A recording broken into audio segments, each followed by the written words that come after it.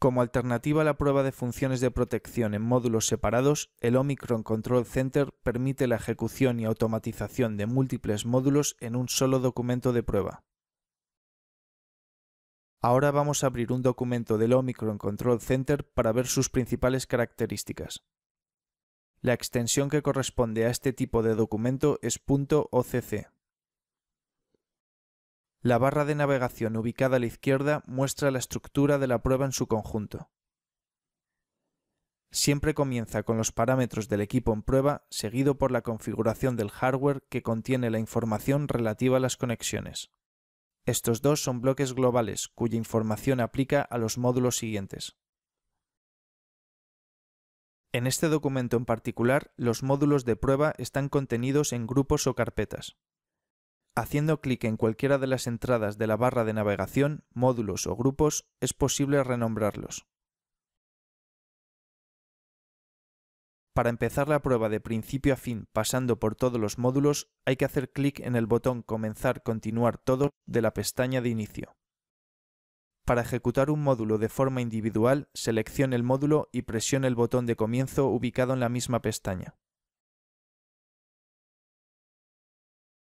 Cuando la vista de informe se ha activado en la pestaña de vistas, el informe con los resultados de la prueba se muestra en la sección derecha. El informe contiene los resultados de los módulos individuales que están embebidos en el documento OCC. Ahora que conocemos los principios básicos de funcionamiento, vamos a dar una introducción sobre cómo crear un documento desde cero. A partir de ahora vamos a utilizar este documento OCC para el resto de videotutoriales. El primer paso consiste en abrir un documento nuevo en la sección Control Center de la página de inicio de Test Universe. Dos bloques relativos a los parámetros del equipo en prueba y la configuración del hardware aparecerán para ser configurados. El bloque que contiene los parámetros del equipo en prueba aplicará de forma global a todos los módulos siguientes y será accesible por cada uno de los módulos individuales. En este punto podemos importar los parámetros que utilizamos para el videotutorial de QuickCMC. Para más detalles, refiérase a este vídeo. Una adecuada comprensión de la diferencia entre configuración de hardware local y global es muy importante para realizar pruebas con Test Universe. La configuración global debe entenderse como el grupo de variables que se va a necesitar en el conjunto de los módulos embebidos en el documento OCC, es decir, tensiones, corrientes, contactos de disparo, etc. Esta lista de herramientas o variables será accesible por cada uno de los módulos de prueba individuales. Las entradas o salidas que van a ser usadas en cada módulo tienen que ser especificadas en la configuración local de este. Por ejemplo, en los siguientes videotutoriales se va a probar la función de sobrecorriente y de distancia. Las tensiones, corrientes, señal de arranque y señal de disparo serán las variables a utilizar.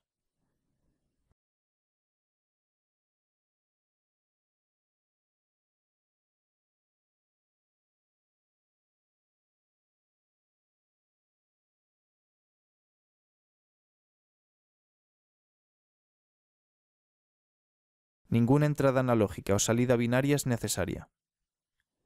Este conjunto de entradas y salidas son las que tienen que ser especificadas en la configuración de hardware global.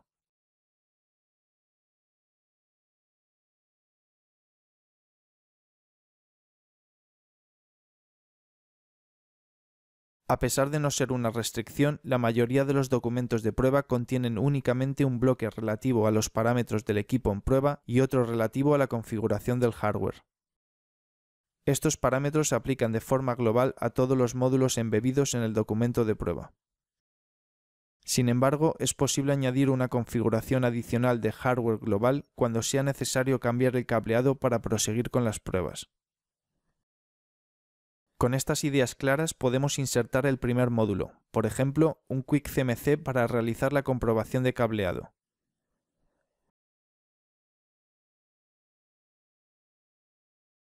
En primer lugar, hay que acceder a la configuración de hardware local donde habilitamos tres corrientes y tres tensiones.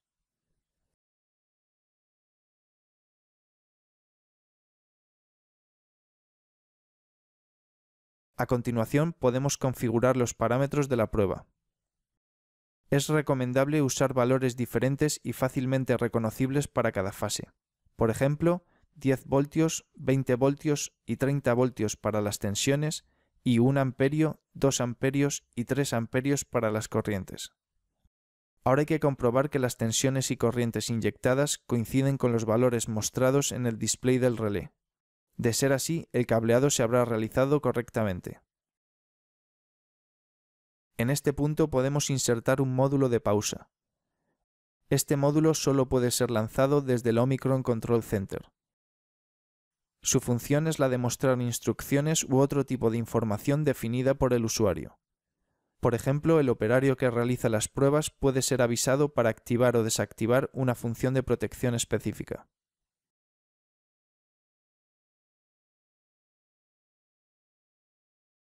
La ejecución del OCC se paraliza hasta que el usuario hace clic en Continuar para salir del módulo de pausa.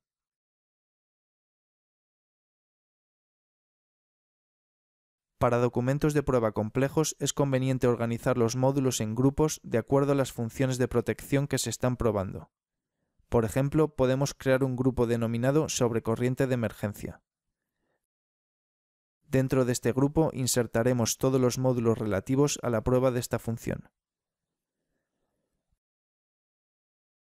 El Omicron Control Center también funciona como procesador de textos, de forma que el documento es editable es posible dar formato y añadir texto adicional, imágenes o tablas del mismo modo que se hace con Microsoft Word. Por ejemplo, podemos añadir un título al documento, prueba de la función de sobrecorriente y distancia. Use la pestaña Texto para cambiar la fuente, el tamaño, sangría, etc.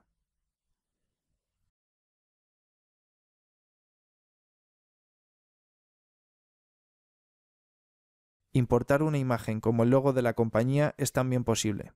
Coloque el cursor en el lugar deseado y seleccione el icono objeto de la pestaña Insertar. A continuación seleccione el tipo de objeto que desea insertar. Use el editor Paintbrush para importar imágenes.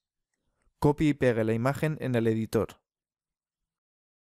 La imagen será insertada en el informe una vez que el editor Paintbrush se cierre.